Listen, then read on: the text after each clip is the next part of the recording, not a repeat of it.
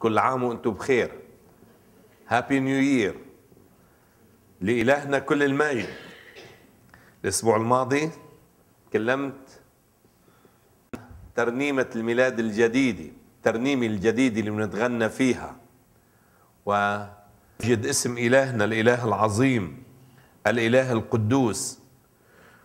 وفي هذه السنة الجديدة بنعمة الرب نريد بداية جديدة لكل واحد منكم وتكون حياة جديدة والله يتمجد في حياة كل فرد منكم لاسم إلهنا كل المجد إلى أبد الآبدين آمين. دعونا نقرأ من سفر الرؤيا إصحاح 21 وعدد خمسة. سفر الرؤيا إصحاح 21 وعدد خمسة. وقال الجالس على العرش ها أنا أصنع كل شيء جديدا. وقال لي اكتب فإن هذه الأقوال صادقة وأمينة. هللويا قال الجالس على العرش الإله القدوس الإله المجيد له كل المجد في الكنيسة إلى أبد الآبدين. يقول يقول يقول هذه الكلمات ها أنا أصنع كل شيء جديدا. هذه أقوال صادقة لأنها كلمة الله. وحين يتكلم الله ليصمت كل إنسان لأن الله صادق هو صادق وأمين وأقواله صادقة. وهو يعطي مواعيد لكم. وهذه المواعيد يقول إنه يصنع في حياتكم كل شيء جديد. هل تؤمن في هذا؟ هل تؤمن أن الله يستطيع أن يجدد حياتك ويجعلها من نوع آخر؟ حياة جديدة ترضي الله وتمجد الله. هذه الأقوال يقول عنها الكتاب أقوال صادقة وأمينة. وطبعا نحن في الأعياد في المناسبات دائما بنفرح بكل شيء جديد مش هيك؟ الأولاد بيهتموا بالثياب جداد وألعاب جداد وكل شيء جديد والإنسان لما بيكون في عنده أشياء جديدة بيفرح فيها. كل شيء جديد بفرح القلب لأنه شيء جديد عم خاصة لما بيكون أنت عندك بيت جديد عندك سيارة جديدة عندك كل شيء. فكم بالحري إذا عندك حياة جديدة.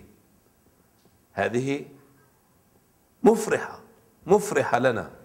لأنه حياتنا القديمة حياة متعبة حياة متهلهلة حياة قد أتعبها الحزن والألم والتعب والشقاء. ويأتي الله ليقول لك في هذه السنة الجديدة ها أنا أفعل كل شيء جديد. ها أنا أصنع كل شيء جديد. اذا لما بنفكر في هذا الأشياء الجديدة هي تبهج الإنسان وتفرح الإنسان. الأثينيون يعني أهل أثينا كانوا أشخاص فلاسفة متعلمين وكان دايما يفتشوا عن شيء جديد. كان دايما يفتشوا عن شيء جديد حتى يكتشفوا شيء جديد. وجاهم بولس الرسول حتى يخبرهم عن شيء جديد هني ما اكتشفوه. وبيقول لهم بولس هذه يعني هذه الكلمات في أعمال 17 22 إلى 25 بيقول فوقف بولس في وسط آريوس باغوس وقال أيها الرجال الأثينيون أراكم من كل وجه كأنكم متدينون كثيرا لأني بينما كنت أجتاز وأنظر إلى معبوداتكم وجدت أيضا مذبحا مكتوب عليه لإله مجهول. فالذي تتقونه وأنتم تجهلونه هذا أنا أنادي لكم به. الإله الذي خلق العالم وكل ما فيه هذا إذ هو رب السماء والأرض. لا يسكن في هياكل مصنوعة بالأيادي ولا يخدم بأيادي الناس كأنه محتاج إلى شيء. إذ هو يعطي الجميع حياة ونفسا وكل شيء. هو يعطي الجميع. واكتشفوا أنه في إله جديد. الآلهة الثانية كانوا هن يجوا لعندها تيخدموها. عم بيقول لهم في إله عجيب. هو اللي صنع هو اللي خلق هو اللي عمل كل شيء. هذا الإله الجديد ما بيحتاج لكم أنتم بتحتاجوا له هذا الإله الجديد هو يخدمكم بدل ما أنتم تخدموه. إنه يصنع كل شيء جديد لكم. فرحوا الناس لما سمعوا بهذه الكلمات. والله يقول هنا بهذه الكلمات ها أنا أصنع كل شيء جديدا. الإنسان يفرح بالأمر الجديد مش هيك الإنسان بيبتهج. لذلك آه، بالنسبة للناس بيقول الكتاب عن لهم آذان لكن لا يسمعون. لهم عيون لا لا يبصرون. قلوبهم ما بتحس. وبيقول عنها الكتاب في هذه يعني عندن اياها صارت تعبانة صارت خربانة صارت مش نافعة. شيء تسمع بأذنك كلمة الله وكأنك ما سمعتها. بتشوف أعمال الله وكأنك مش شايف أي شيء ولا كانه الله عم يعمل. اسمعوا ماذا يقول الله في إشعياء إشعياء ستة وعدد عشرة. بقول غلظ قلب هذا الشعب وثقل أذنيه واطمس عينيه لئلا يبصر بعينيه ويسمع بأذنيه ويفهم بقلبه. إذا شعب بيسمع وما بيسمع. عيونه موجودة وما بيشوف فيها. إذا يحتاج إلى شيء جديد. يحتاج إلى تجديد من الله. يحتاج حتى يكون عنده عيون بيشوف فيها أعمال الله. يحتاج أن يكون له آذان يسمع بها صوت الله حين يناديه. عنده أيدي تعمل الخير لخدمة الله ولخدمة الآخرين بدل ما تعمل الشر. عنده رجلين ما بتمشي بطريق الشر بتمشي بطريق الله. إذا يحتاج الإنسان إلى هذا. ومن يستطيع أن يفعل هذا؟ من يستطيع أن يجدد الإنسان؟ من يستطيع أن يغير الإنسان اللي تعب وكل شيء فيه صار تعبان وخربان ومش نافع؟ اسمعوا بكورنثوس الثاني صح خمسة وعدد 17 بيقول هالكلمات. إذا إن كان أحد في المسيح فهو خليقة جديدة. الأشياء العتيقة قد مضت. هو ذا الكل قد صار جديدا. الله يقول أنا أصنع كل شيء جديد. الله يصنع كل شيء جديد. ويقول الكتاب إن كان أحد في المسيح فهو خليقة جديدة. بمعنى آخر يعني أنه صار في عنده آذان تسمع لصوت الله. لما بيصير خليقة جديدة بيصير هذا الإنسان يقدر يشوف عمل الله بيقدر يتكلم عن الله. إذا شو الفرق بين الأول وبين الآن؟ قال له بالأول كان عنده أذان لا تسمع عيون لا تبصر ولكن الآن يتغير. وهذا ما أتمناه لكل واحد منكم. هذه السنة الجديدة أن نبدأ بداية جديدة. لقد تكلمت في عيد الميلاد عن الترنيمة الجديدة وهاليوم أتكلم عن الحياة الجديدة في المسيح. لنبدأ حياة جديدة ويكون فيها كل شيء جديد. كما قال الكتاب إذا إن كان أحد في المسيح فهو خليقة جديدة.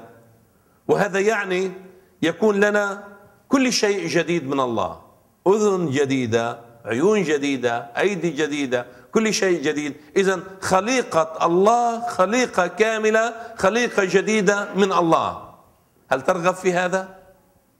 هل ترغب أن يكون لك كل شيء جديد من الله؟ الله يعطيكم نعمة وبركة ولذلك نحن نضع أيضا عهدا جديد مع الله يكون عنوانه وهذا العهد بتحطه أنت بينك وبين الله بتقول له يا رب أنا أحبك. عنوانه محبة الله. وهذا العهد أنت بتوضعه وتقول له يا رب أنا بحبك وبدي أعيش في وصاياك. في هذا العهد الجديد نصنع عهد مع الله. طبعا البعض بيقول أنا بخاف بخاف أتعهد. مش هيك؟ بتخافوا تتعهدوا؟ ليه بتخاف؟ قال لأني جربت في الماضي كثير وفشلت. مش قادر مش قادر أتعهد أكثر صحيح. وأنا بقول لك إذا كمان بتجرب رح تفشل لأنك عم أنت تجرب وأنت عم تتكل على حالك تجرب تصير جديد. ما حدا بيقدر يجدد حاله هو يجدد نفسه. شيء وما حدا بيقدر يعمل عهود لحاله ويقول أنا اللي بدي أقطعها. لكن اسمعوا ماذا يقول الكتاب؟ يقول الجالس على العرش هذا الإله العظيم هذا الإله القدوس حين يتكلم يفي بوعوده فهو هو الذي يقول ها أنا ذا ها أنا أصنع كل شيء جديدا. إذا مش أنت اللي بتعمل شيء جديد مش أنت اللي بتقوم بالعهود مش أنت اللي بتعمل الخليقة الجديدة مش أنت اللي بتعمل قلب جديد وحياة جديدة وعيون جديدة وآذان جديدة وإيدين جديدة وكل شيء جديد.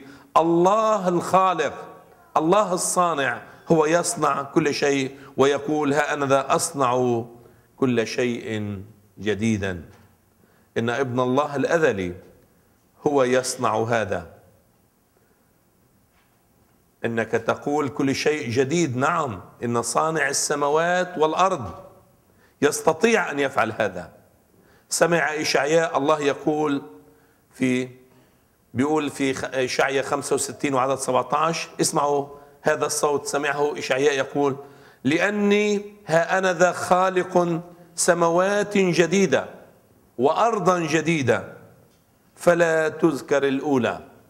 الله بيقول لك أنا راح أعمل لك كل شيء جديد. الأولى ما عاد بتذكرها ولا عاد أنت بتفكر فيها. ولا تخطر على بال بل افرحوا وابتهجوا إلى الأبد فيما أنا خالق لأني ها أنا ذا خالق أورشليم بهجة وشعبها فرحا. اذا هذا التغيير العجيب من يصنعه الله بيقول أنا راح أعملكم كل شيء جديد. حياة جديدة أرض جديدة مكان جديد كل شيء جديد في حياتكم. هذا مواعيد الله. في هذه السنة الجديدة الله يستطيع أن يصنع كل شيء جديد في حياتنا.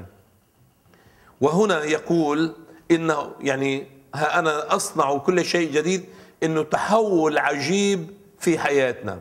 وهذا اللي بيقول الكتاب قال الجالس على العرش ها أنا أصنع كل شيء جديد. إنه هو يتعهد التغيير. وهون بدي طمن لكم بالكم. لما أنت بتيجي وبتوضع نفسك بين إيديه بتقول له يا رب استلمني. قلبا نقيا أخلق فيها يا الله. بيقول إن كان أحد في المسيح فهو خليقة جديدة. الله يتعهد تغيير في حياتك. الله اللي بيغير حياتك. الله اللي بيعطيك قلب تطيع فيه وعيون تشوف فيها الله و اذان تسمع فيها لصوت الله. ساعتها بصير حياتك حياة جديدة لأنك أنت أخذت التغيير من الله. هذا التغيير المبارك من الله. بتصير حياتك حياة مثمرة. بتصير حياتك فيها بركة. لأنه الله هو الذي يتعهد هذه البركة. وهذا الخير بصير مضمون. مش إنه حكي مش كلام. لمن الله يتكلم كلام كلمة الله مضمونة. بيقول الكتاب جربوني بهذا يقول الرب. اختبروا الله. ذوقوا وانظروا ما أطيب الرب. اختبروا الله في حياتكم جربوا الله تعاملوا معه تعالوا لعنده جربوا حياة جديدة معه. شوفوا كيف الله يستطيع. بيقول الكتاب قال تفيض معاصرك مسطارا وتمتلئ خزائنك شبعا.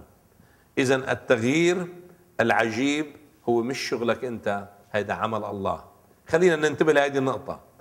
التغيير العجيب والحياة الجديدة وكل شيء جديد مش شغلك مش أنت اللي بتقدر تجدده. الله هو الذي يصنع هذا العمل الجديد.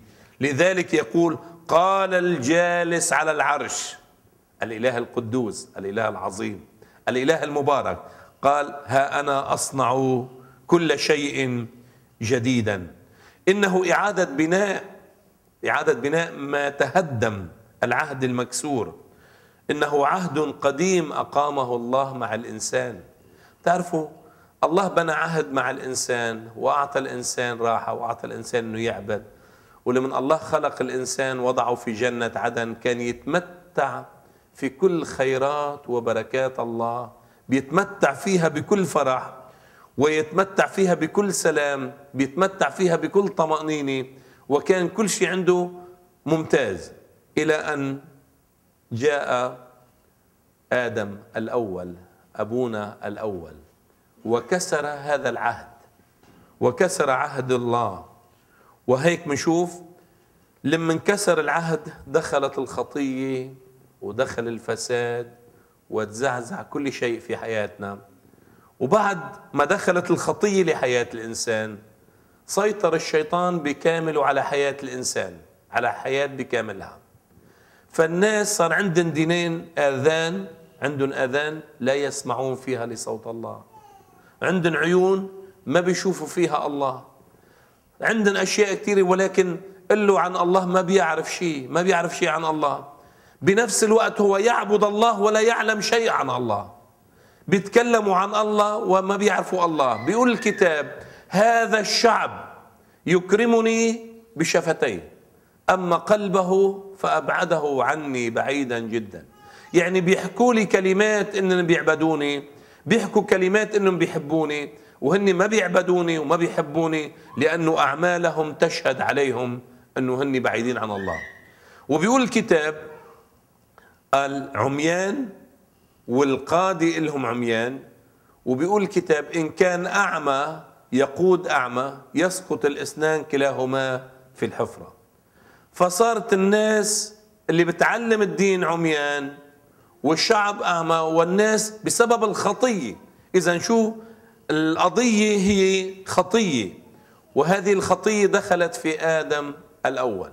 وجاء الرب يسوع المسيح وهذا اللي ترنمنا له الاسم يعني وكنا عم نحكي عن الترنيمة الجديدة لمن اجى الرب يسوع ليعيد لنا العلاقة من جديد. ونترنم ونتغنى بهذه الترنيمة ويعطينا حياة جديدة. إذا أبونا آدم كسر العهد وجاء الرب يسوع لكي يرمم العهد المكسور ويقول ها أنا أصنع كل شيء جديدا. إذا العهد المكسور وكل شيء منتهي اجى حتى يرممه من جديد. وهيك إذا حياتنا أعضائنا كل شيء فيها مدمر. هي ليست للرب. وهيك بنشوف إنه الأذن لا تسمع لصوت الله. العين لا ترى. اليد لا تعمل الخير. اليد تعمل السوء بدل الخير. والرجل تسير في طريق الشر بدل طريق الخير. لكن حين يرمم الله حياتك يجعل العين ترى. والأذن تسمع. واليد تفعل الخير. والرجل تسير في طريق البر وهكذا أصبح كل شيء جديد بدل ما كان كل شيء معطل وما بيسمع إلى الله. إذا الله رمم حياتنا بالكامل ترميم كامل. إذا بيقول الكتاب ها أنا ذا أصنع كل شيء جديد وأقول أي الله يصنع في المسيح كل شيء جديد. والله هو الذي يبني حياتكم من جديد. وهون خلينا نتذكر إنه آدم الأول جلب معه الخراب والدمار والخطية. ولكن آدم الثاني الرب من السماء جلب معه البركة والخير والسلام والحياة الجديدة والتغيير. وهيك بصار عهد مضمون. هذا العهد يضمن الله ويضمن إله العهد. وبيقول عنه الكتاب هذا الإله الذي يقول عنه الصادق الأمين. هو اللي بيضمن هذا العهد وهذه المواعيد وهذه الحياة الجديدة. ويصبح كل ما فينا يعني يعمل لإرضاء الله. يعني بتصير عيوننا بترضي الله إيدينا وداننا وكل شيء فينا. بنصير كلنا. وبيقول الكتاب عنها سماها خليقة جديدة في المسيح. يسوع. وهنا ال ال كل شيء يعني صار جديد. إذا لا تعود تفعل الشر لأن حياتنا تحولت من طريق الشر إلى طريق الخير. إلى طريق الإيمان بالله. وبيقول الكتاب هذه الكلمات فإذ قد تبررنا بالإيمان لنا سلام مع الله بربنا يسوع المسيح. إذا التبرير بالإيمان هو اللي بتصير عندك أنت السلام الجديد والحياة الجديدة وكل شيء جديد. لقد انتهت العداوة القائمة بيننا وبين الله. وهذه العداوة اللي كانت قائمة بين بيننا وبين الله جاء الرب يسوع المسيح لكي يبطل هذه العداوة. اسمعوا بأفسس 2 عدد 13 بيقول إلى 17 ولكن الآن في المسيح يسوع. أنتم الذين كنتم قبلا بعيدين صرتم قريبين بدم المسيح لأنه هو سلامنا الذي جعل الاثنين واحد ونقض حائط السياج المتوسط أي العداوة مبطلا بجسده ناموس الوصايا في فرائض لكي يخلق الاثنين في نفسه إنسانا واحدا جديدا. الله يصنع إنسان جديد لمن بشيل العداوة بيننا وبين الله. إنسانا واحدا جديدا صانعا سلاما ويصالح الاثنين في جسد واحد مع الله بالصليب قاتلا العداوة به.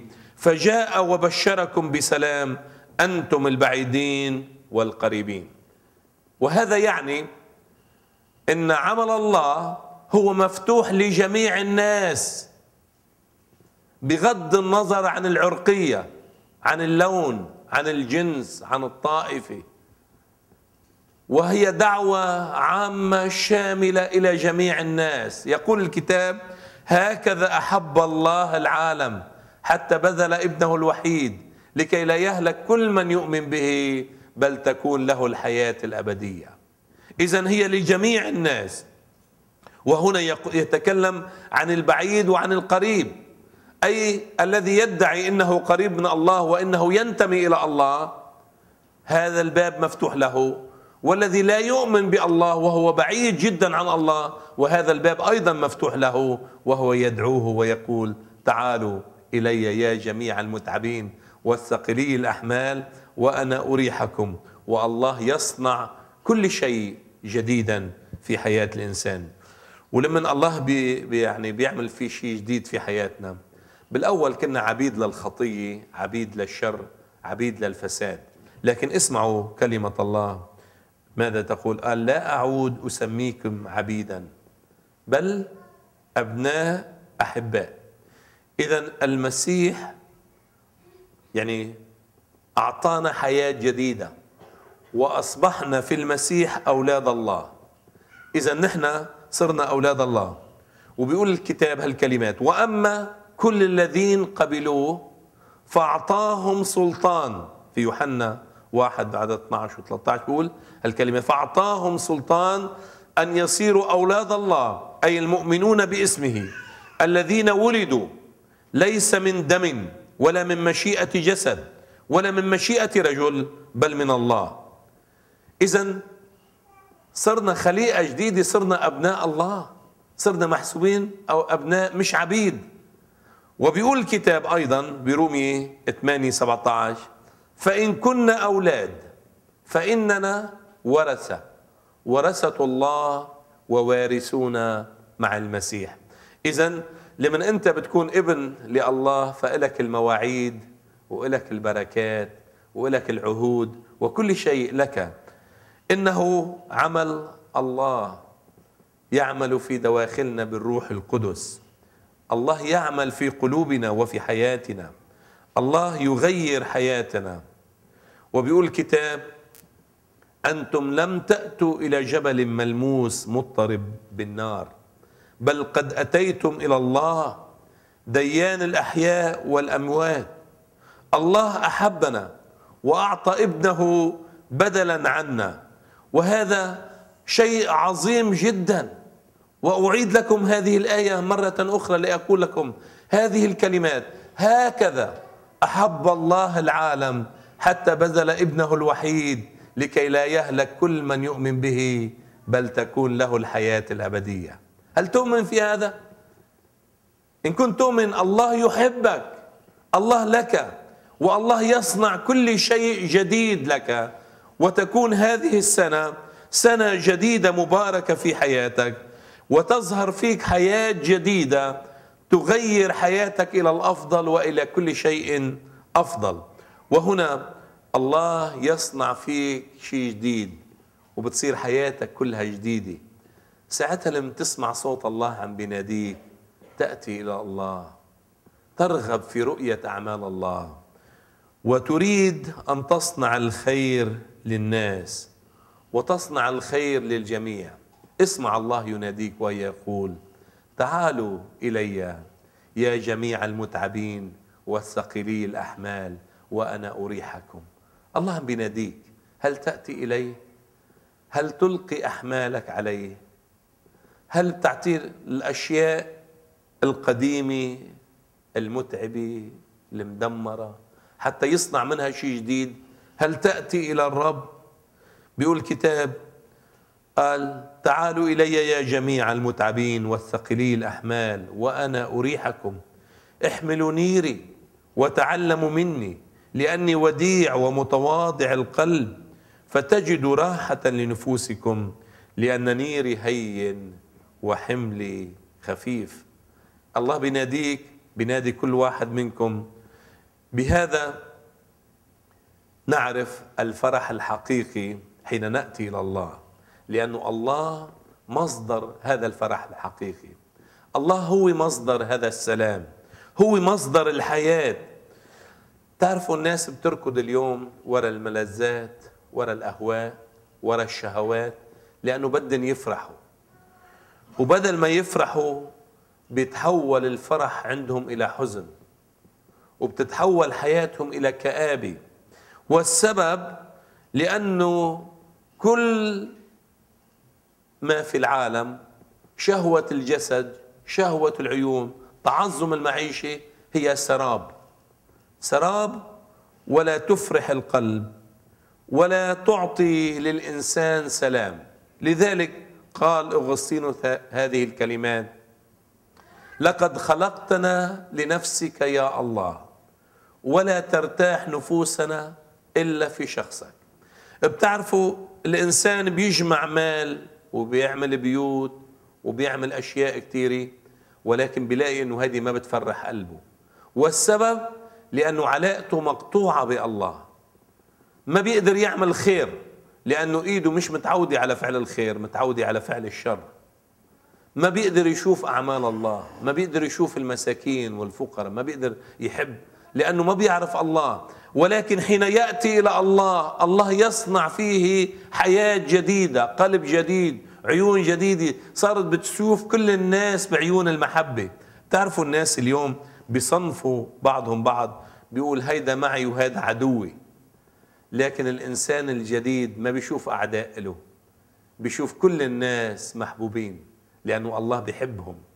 بيشوف كل الناس إخوة له بصير يحب كل الناس. بصير يفكر بالمسكين بفكر بالفقير بفكر بالمحتاج بفكر بكل شخص. والسبب لأنه صار إنسان جديد وهذا الإنسان الجديد لا تفرحه الأهواء والملذات والشهوات إنه يفرح ويتمتع بجمال الله وعمل الله وبقوة الله في حياته.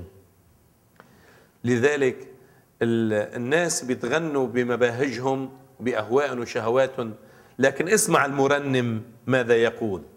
المرنم بيقول هذه الكلمات يا طيب ساعات بها أخلو مع الحبيب يجري حديثي معه سرا ولا رقيب. قال لما بقعد بحضرة الله وبتكلم معه وبتحدث معه أنا صرت إنسان جديد بقدر بقعد بحضرة الله. ساعتها هذه بفرحني هذا بفرح. وداود رنم قديما وطلب طلبي من الله بمزمور 27 وعدد أربعة بيقول هالكلمات. واحدة سألت من الرب وإياها ألتمس. شو بدك يا داود قال أن أسكن في بيت الرب كل أيام حياتي لكي أنظر إلى جمال الرب وأتفرس في هيكله. شفتوا أخونا لأنه بيحب الرب؟ شو طلب؟ طلب أنه يسكن في بيت الله. يسكن. يعيش. وسؤالي قديش بتحب تجي على الكنيسة؟ قديش بتحب تجي تسمع كلمة الله؟ داود كان عم يطلب يا رب خليني أسكن هناك في في محل العبادة في محل الهيكل حتى أتأمل فيك على الدوام. الناس اليوم لما بتيجي تقلها محل العبادة وشيء الناس ما عندهم ما عندهم شوق لعبادة الله.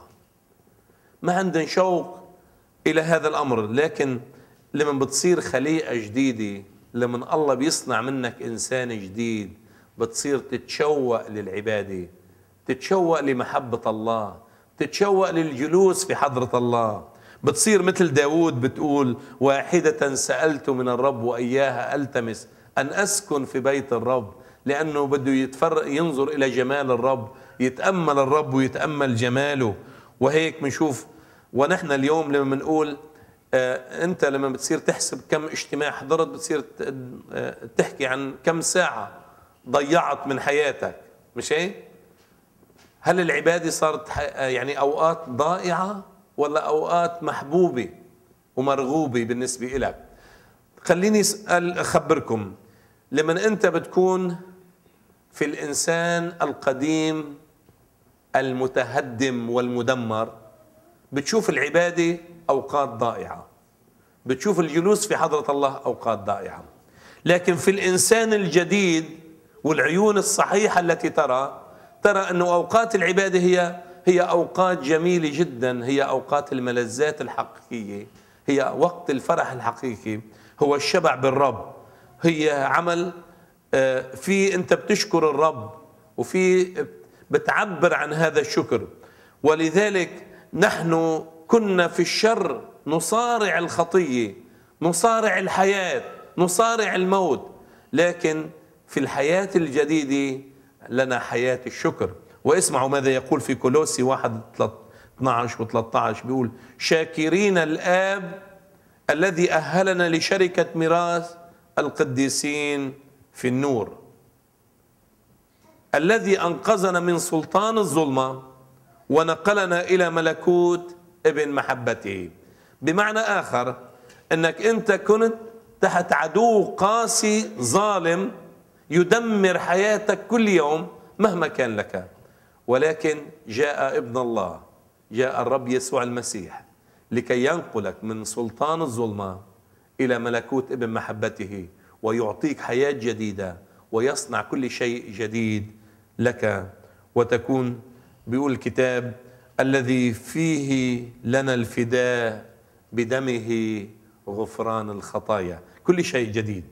اذا التغيير هو عمل الله مش هيك وأيضا التغيير حقيقة ممكنة. يعني نحن بنقول إنه نحن عم نحكي شيء مش ممكن نقدر نحصل عليه. شيء لا التغيير حقيقة ممكنة. ليه؟ لأنه الله اللي قال إني أنا بغيركم. أنا أصنع كل شيء جديد. ولمن الله بيقول آه يعني بيكون حقيقة. اذا الولاده الجديدة ممكنة. تعرفوا نيقوديموس سأل عن الله سأل عن ملكوت الله. قال له كيف بدي أدخل ملكوت الله؟ كيف أنا بدي أعرف الملكوت؟ قال له يجب أن تولد مرة ثانية. وطبعا استغرب هو. وسأل براسه. هذا مستحيل. كيف يمكن للإنسان أن يولد وهو شيخ؟ هل يمكن أن أدخل بطن أمي ثانية وأولد؟ هذا مستحيل. وطبعا مستحيل بنظر نيقوديموس لأن الولادة الجديدة لا يحتاج إلى عمل بشري لأنها ولادة من الروح القدس. هي عمل الله. إذا هل الولادة الجديدة ممكنة؟ نعم لأنها عمل الله. بيقول له الولادة الجديدة هي من الله. هيدي الولادة الجديدة هي بالماء والروح بكلمة الله. الإنسان بيصرى بيصير خليقة جديدة. بغسل الماء بالكلمة. وإن كان أحد في المسيح فهو خليقة جديدة. ولذلك كان الله بيقول ينبغي أن تولدوا من فوق. الولادة أنت بتحتاجها. إذا هل الولادة الجديدة ممكنة؟ نعم.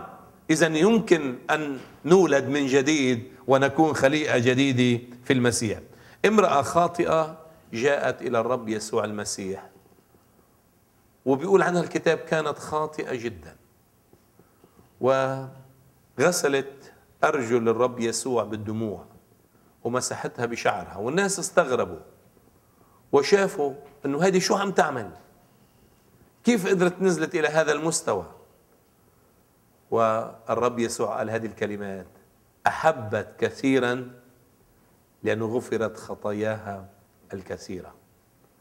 عكتر ما كانت هي تعبانة وبعيدة لما شافت التغيير الجديد في حياتها أحبت الله.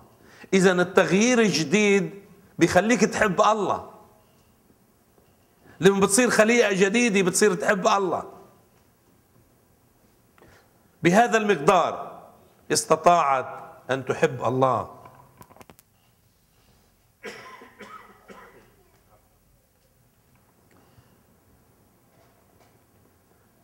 مع التغيير الجديد العجيب في حياتي الآن بإمكاني أن أعمل مرضاة الله وأن أترك الخطية. إذا بالتغيير الجديد بتقدر تترك الخطية. لأنك صرت خليقه جديدة. والله يباركك. تقدر تقرأ الكتاب المقدس. تقدر. تقدر تقرأ الكتاب المقدس. فيك تحضر اجتماعات.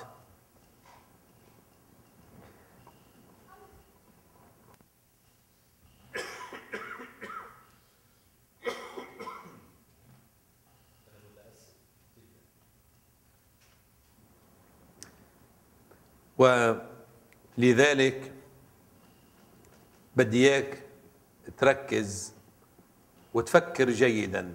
انه الله يحبك ويريد أن يصنع كل شيء جديد في حو من حولك.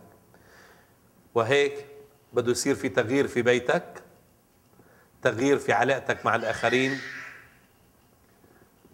تغيير بده يحصل لمن انت بتروح على بيتك مع زوجتك أو انت مع زوجك وبتصير علاقة جديدة مع الأولاد بده يصير في تغيير لأنه الناس بدهم يشوفوا شيء جديد.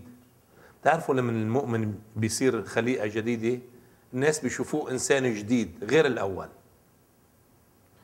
الإنسان الأول مات. آه كان هناك رجل قاسي ظالم كان سكير وشرير. وهذا الشخص لما كان يرجع للبيت وهو سكران كان يضرب زوجته ويضرب أولاده والكل كانوا يرتعبوا منه.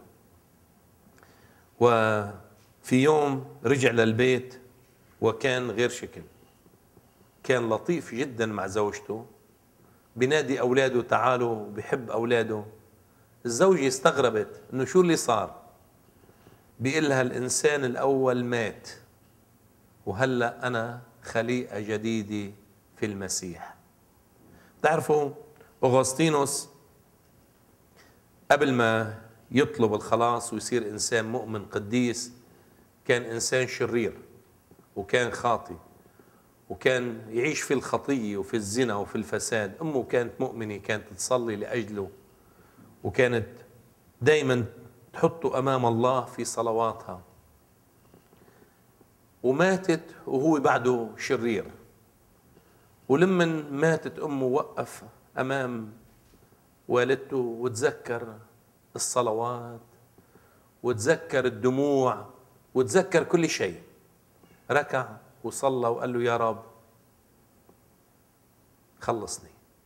يا رب أنا بدي أعيش لك يا رب أنا بدي أكرم اسمك في حياتي. وصار أغسطينوس خليقة جديدة في المسيح. فإحدى الفتيات اللي كانت صديقته إجت بتدق عليه الباب بتقول له أغسطينوس فتح الباب بيقول مينك أنت؟ بتقول له ولو نسيتني ما بتتذكرني؟ بيقول لها أغسطينوس اللي أنت بتعرفيه مات وهلأ في أغسطينوس جديد خليقة جديدة في المسيح. بتعرفوا لما بتصير خليقة جديدة في المسيح. ما في زنا ما في خطية ما في فساد ما في بعد عن الله. بتصير تعيش حياة بترضي الله.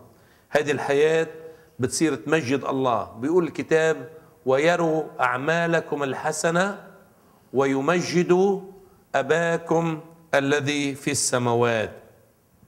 اذا المطلوب شو المطلوب هلأ الآن؟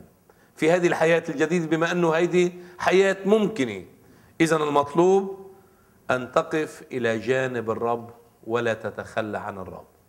قل له يا رب أنا إلك مش رح أتركك مش رح بعد عنك رح أتمسك فيك.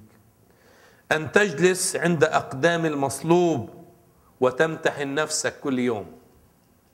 بيقول الكتاب لو كنا حكمنا على أنفسنا لما حكم علينا. تجي عند الرب يسوع المسيح تجلس عند الصليب وبتوضع نفسك وبتقول له يا رب املأ قلبي وحياتي بالطاعة لك حتى مجد اسمك. أن تتقوى في الرب وفي شدة قوته. الله ما بده إياك مؤمن ضعيف. بعض المؤمنين بيرضوا يكونوا مؤمنين ضعاف لكن الله لا يرضى. لذلك يقول الكتاب تقووا في الرب وفي شدة قوته.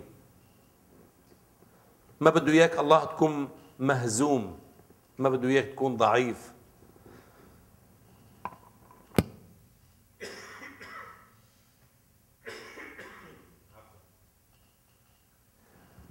ولذلك ما بده إياك تكون محمول بكل ريح تعليم بل يريدك أن تكون قوي في الإيمان. بطل من أبطال الإيمان. الله ثانك يو الله يريد أن يمجد اسمه في حياتك ويريد أن يعظم اسمه في حياتك. فمن لذلك عليك أن تثق بالرب وتثق إنه الله يعطيك حياة جديدة. وهذه الحياة مملوءة بالنعم وبالبركات.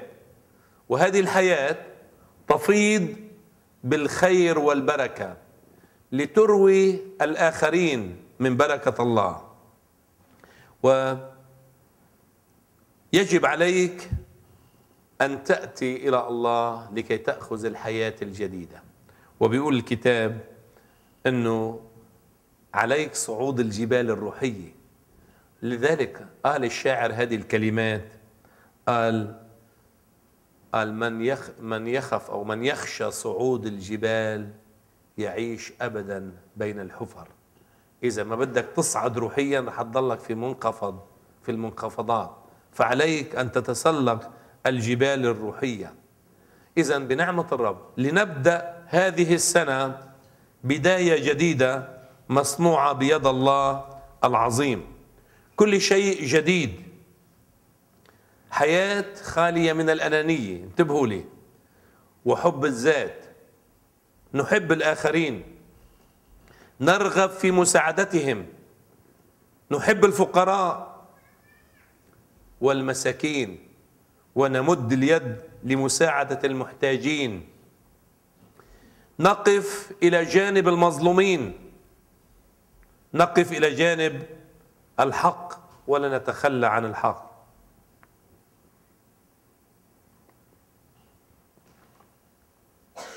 اذا يجب أن تكون حياتنا خالية من البغضة والكراهية وتكون مليئة بالمحبة المحبة لجميع الناس.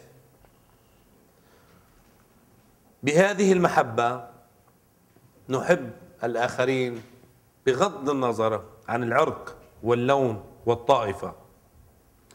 الله يحب الجميع على السواء لذلك يجب أن تكون وهيك أصلي أن يكون كل واحد منكم غصن شجرة مثمرة غصن شجرة على عين. ثانك يو الرب يبارككم جميعا.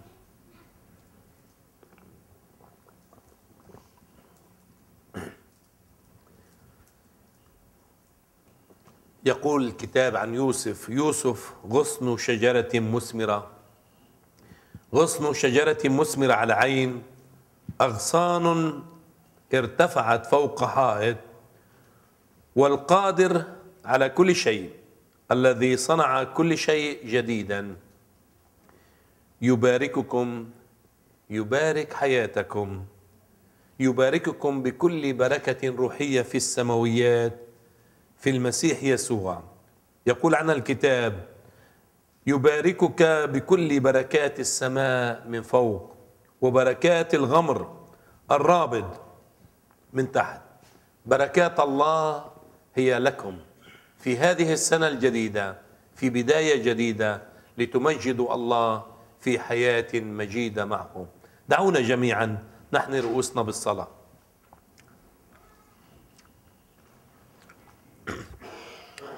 جميعا نسكب قلوبنا أمام الله بالصلاة. صلي معي صلي يا أختي صلي يا خيي.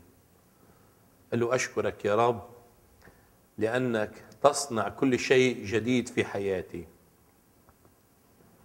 قل له يا رب أنا أتعهد أن أمجد اسمك في هذه السنة الجديدة.